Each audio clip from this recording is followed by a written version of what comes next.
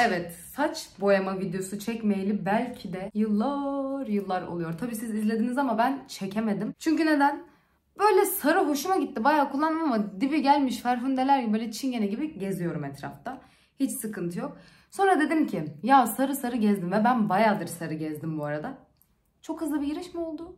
Yeni gelişmeler. Kameram nasıl? Bakın şimdi. Hazır mısınız? Oo nasıl nasıl nasıl nasıl? Aa, aa, aa, aa. Sinematik mod çekiyor. Telefon aldım kendime. Çok daha kaliteli kamerayla, mikrofonumla, güzel içeriklerle sizlerle birlikteyim. Neyse. Saçlarımı boyamayalı yıllar oldu. Küfür yedim. Anabacı sövüldü. Kuzenlerime kadar. Örf, anane, kültürüme kadar küfür yedim. Niye video çekmiyorsun diye. Yuh. Orada bir durun. O kadar bana saldırmayın. Saç benim saçım. Boy, boyarım, boyamam. Abartmayın. Ama boyayacağım. Çünkü sanat toplum içindir. Şaka içindir. Ama saç toplum içindir. O yüzden saçlarımı boyayacağım. Ve bugün bir değişiklik yapacağım. Böyle elimde 3 tane boya var. Bakınız. 3 tane boya var. Bu arada kıtlıkta mıyız? Savaşta mıyız? Bu boyaya ben neden 35 lira verdim? Soruyorum. Şu boya bakınız şu görmüş olduğunuz Selection markası 35 lira para verdim ya. Biraz pembe yapacağım, biraz mavi yapacağım. Aralara turkuaz falan atacağım. Tabii ki de bunun için öncelikle saçımı açacağım. Açıcılar 50 lira olmuş ya. Yuh, yuh yani. 50 lira falan olmuş açıcılar. Şok geçirdim. Acaba dedim videoyu çekmesem mi falan böyle düşündüm. Sonra dedim hani günah gitti çekerim zaten. Böyle 2 ay falan kullanırım yani yapacak bir şey yok. E, Benim normalde kullandığım palet markasına baktım ben. 52 küsür liraydı. Dedim ki hem değişik marka deneyeyim hem de ucuz olsun diye asıl ucuz olsun diye gittim. Garnier'in şöyle göstereyim. Şu boyasını aldım. Bu açıcının fiyatı da 23 TL. Gayet makul. Hem denemiş oluruz. İşte ekstra kalıcı saç boyası. 3 tona kadar açıklık. Carçuk. Ama ve lakin saçı siyah olanlar, koyu kahve olanlar bana gelip de ben senin dediğini aldım saçım açılmadı yapmasın. Çünkü arkasına bir bakın. Hani ne kadar açılmasını istiyorsanız burada böyle bakıyor. Ben hep bunlara bakarak alışverişimi yapıyorum bu arada haberiniz olsun. Benim saçım açık kumral olduğu için benim saçımı gayet yeterli açıyor. Ve şöyle bir durum daha var. Saçınız turunculaşarak açılsa bile renkli boyayacak iseniz bence bir problem yok. Ha tabii düzgün açarsanız çok daha iyi. Ama düzgün açamasanız bile hani ya ben çok güzel açamadım diye tedirgin bile olsanız renkli boya sürünce bütün sarılıklar zaten gidiyor korkmayın. Bu arada saçlarımı kestirdim. Daha yeni ve perçem eklettim nasıl? Belki bugün perçemlerimin ucunu birazcık pembe yapabilirim. Yapayım mı? Ona bakacağız. İkizler burcuyum. Her an her şey olabilir. Tırnaklarımı soracağınızı biliyorum. Videonun altına tırnaklarımı yaptırdığım yerin Instagram adresini koyacağım. Harikalar. Şunlara bakar mısınız? Olay. Bakın. Bak olay. İnanılmaz. Harika. Çok uzun konuştum. Videoya giriş yapacağım. Eski tişörtümü giydim yine her zamanki gibi. Aman güzel tişörtlerinizi ziyan etmeyiniz. Şimdi bu Garnier'in boyasına hep birlikte bakalım. 22 lira benim gördüğüm en ucuz açıcıydı. Tam bana yorumlarda sorduğunuz bir soruya da cevap vermiş olayım. Açıcıyı saklayıp tekrar kullanabilir miyim diyorsunuz. Hayır kullanamazsınız. İsterseniz deneyin. Çünkü ben 5 dakika bile fazladan beklerim. Mesela saçımı boyuyorum bitiyor mesela. Bazen bunu çöpe atmayı unutuyorum. Oksitleniyor, köpürüyor falan. O yüzden bunları kaba saklayıp falan asla kullanamazsınız. Bu tek kullanımlık bir şey. İçinden eldiven her zamanki gibi. Kullanım kılavuzu buna asla ihtiyacımız yok bunu biliyorsunuz ki. Duşta krem. Duşta yıkamak için krem çıkıyor. Krem saç boyası. Şöyle bir şey çıkıyor. Şöyle de bir oksidan çıkıyor içinden.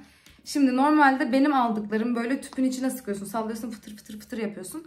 Ama bu kapta karıştırılan bir şey. O yüzden tada annemin çok fazla kullanmadığı kaplarından bir tanesini aldım. İçine önce şu krem boyayı açacağım. Şöyle açıyorum. Yüzüme sıkmayayım da. Ne oluyor buna? Bunu fırlatmam mı gerekiyor? Yüzüme fırlatacağım diye çok korktum. Şöyle deneyeceğim. Yok olmuyor. Bunun bir sıkıntısı var. Ve şunu sokayım. Ah deldim. Aynen bunun bir şeyle delinmesi gerekiyormuş. Bunu delin unutmayın. Şimdi bunun hepsini yarısını falan azını çeyreğini değil hepsini böyle sıkıyorum. Bu arada size benim saçım kısa diye benim aldığım açıcılar genelde bana yetiyor. Eğer saçınız uzun, çok kalın telli, çok kabarık, çok kıvırcık, fazla bir saçınız var ise siz İki kutu alabilirsiniz. Çünkü tek kutu bana yetiyor. Hatta artıyor gerisini çöpe atıyorum. Fakat dediğim gibi Ay çok kötü koktu. Oh my god. Gaz maskesi falan takımı sıkarken. Oo. Bunu şöyle sıkıyorum bu arada. Saçınız dediğim gibi fazlaysa iki kutu alabilirsiniz. En azından ne olur ne olmaz bulunsun. Yetmezse böyle yarım saç kalmayın. Krem boyayı sıktım. Kapatıyorum. Çöp. Sonra oksidan var. Şunu çalkalayayım. Niye çalkaladığımı bilmiyorum bu arada. Sadece içgüdüsel çalkalıyorum. Açıyorum. Tam kuaför koktu burası ha. Tam böyle arkada sönmüyor ateşimiz çalan kuaför koktu. Bunu böyle döküyorum. Hepsini döküyorum. Ya bence böyle yapmalıyız. Tam yeter. Bu da çöp. Karıştırıyorum. Şöyle içini göstersem ama bu biraz kıvamlı. Biraz karıştırayım öyle göstereyim içini. Burada bunda toz moz yok. Beni birazcık işkillendirdi. İnşallah bu benim saçımı açar ya. Göreceğiz artık. Bakalım deniyoruz.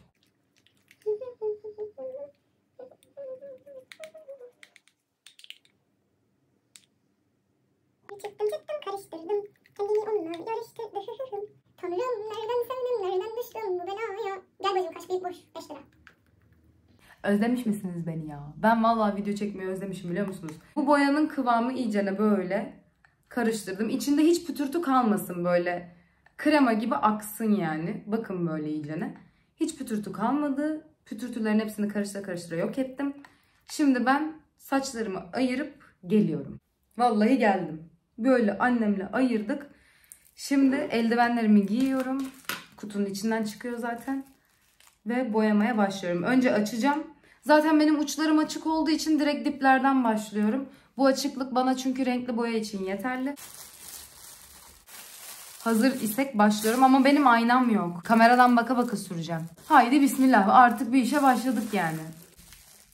Her işim böyle ya. Her işim bu şekilde ya.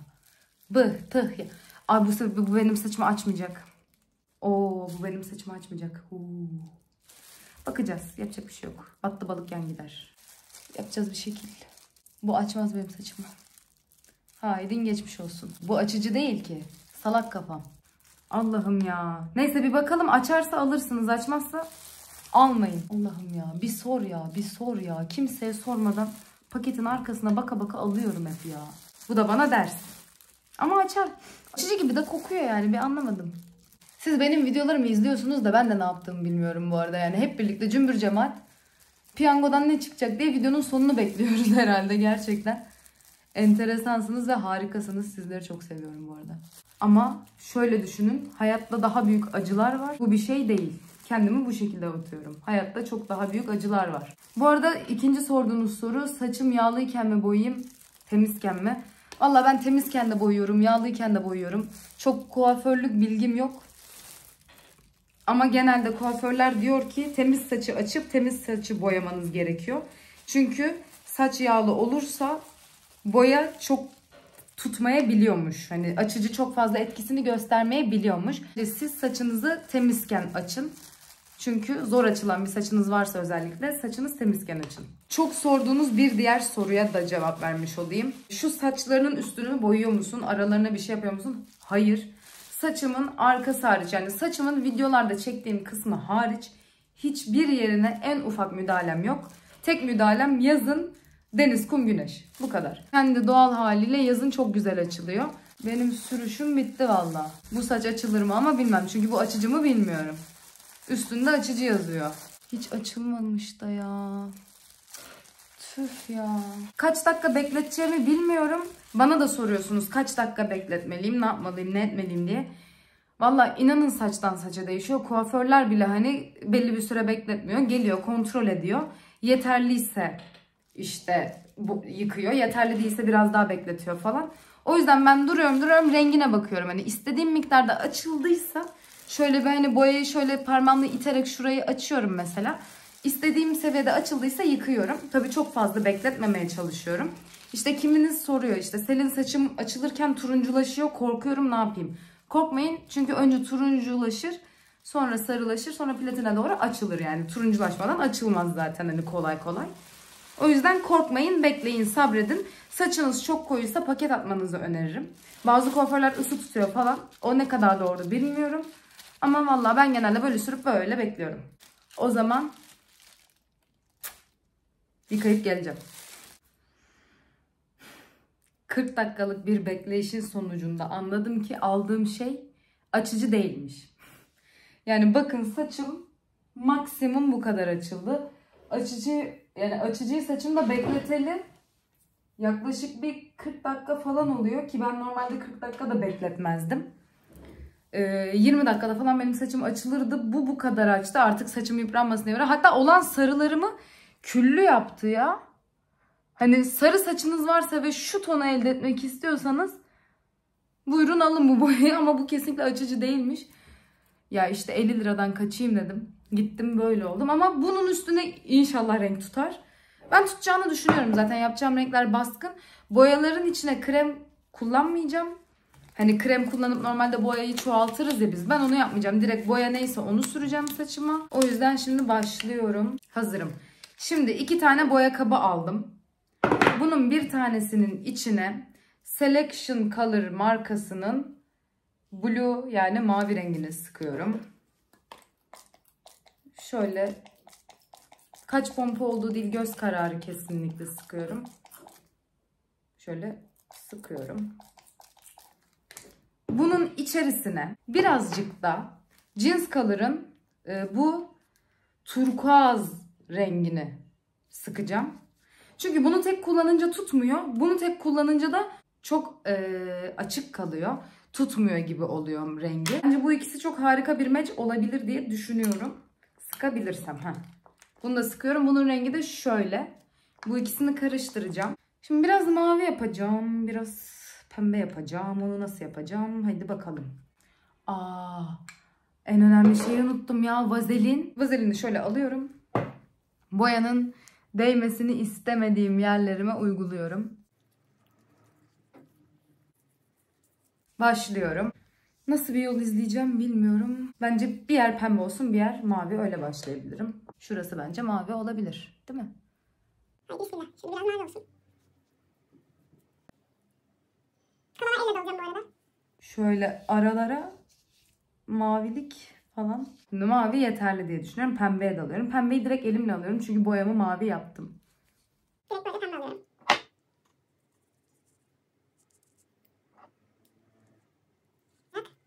Ha böyle yaptım. Mükemmel. Hadi bakayım. Ay kankam şöyle. Biraz dedim pembe. Mor falan. Şu an pembe olsun. Ah enseme şey sürmeyi unuttum vazelin. Allah.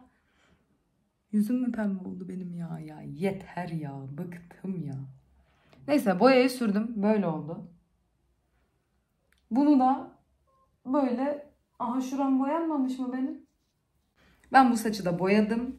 Bunu da muhtemelen bir taş çatlasın 20 dakika falan bekletip yıkayacağım. Artık videonun sonuna doğru geldik. Bakalım ne çıkacak. Yani emin olun sizin kadar ben de çok merak ediyorum. Ne çıkacak bilmiyorum. Geliyorum. Ben geldim. Ve saçlarım bence gerçekten çok güzel oldu. Şimdi şöyle. Açıcı diye aldığım şey açıcı değilmiş. Aralardaki şu kalan sarılar benim çok hoşuma gitti. Boyayı bu sefer gerçekten sadece 10 dakika falan beklettim bu arada. Ki istediğim ton olsun diye. Bakın burada birazcık pembeler var. Mor gibi olmuş. Aradaki sarılar. işte bu mavi tonu. Buradaki pembe alttan gelen mavi falan inanılmaz hoşuma gitti. Şöyle arkama döneyim iyice ne saçlarımı göstereyim size.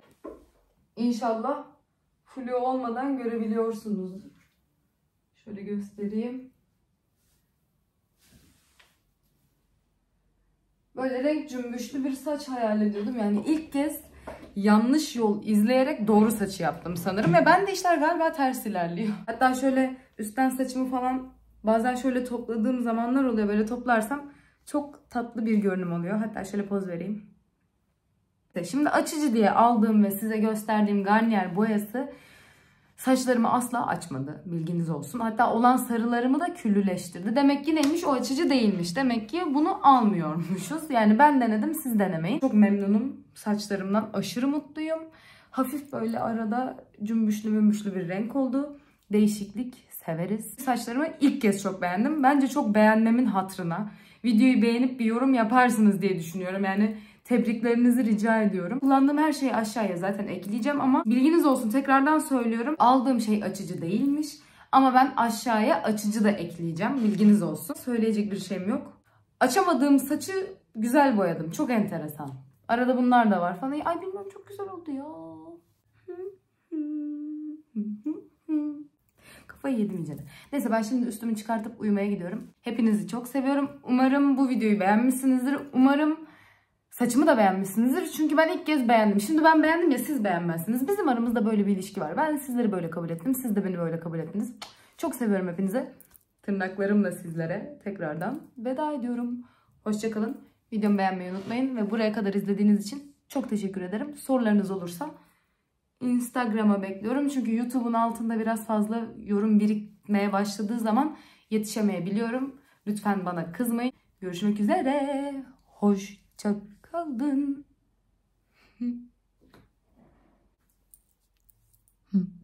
Ay çok güzel oldu.